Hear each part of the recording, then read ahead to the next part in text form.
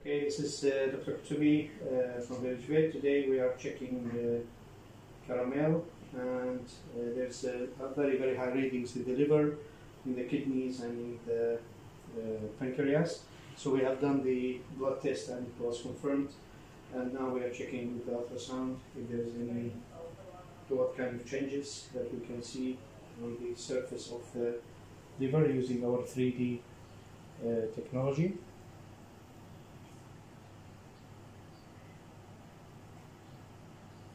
Okay, so now we are going to 3D.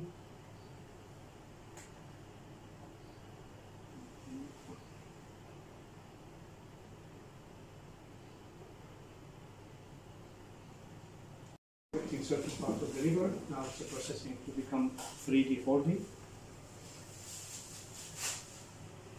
Okay, so this is how it looks. So now we are starting to change the position.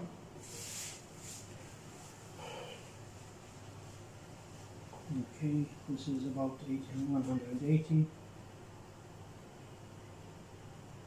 Okay. Yeah. So we can see here the thickness of that uh, particular segment of the liver, which is really does not show that things are smooth, and this is the way it looks from outside. So from here we can you can tell that the liver is not functioning well, and uh, with further investigation we're going to perform, we're going to be able to identify to which level is the infection and what we're going to do next. Okay.